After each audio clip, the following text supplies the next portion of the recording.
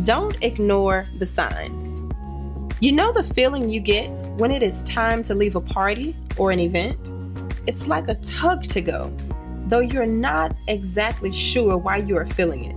Viscerally, you may feel anxious or unsettled. For some reason, you ignore the feeling, and then something happens, like a snagging of a nail or getting in an unnecessary argument with a friend. Well, in my case, I totaled my car. Now, if you want to know more, go grab More Than Enough.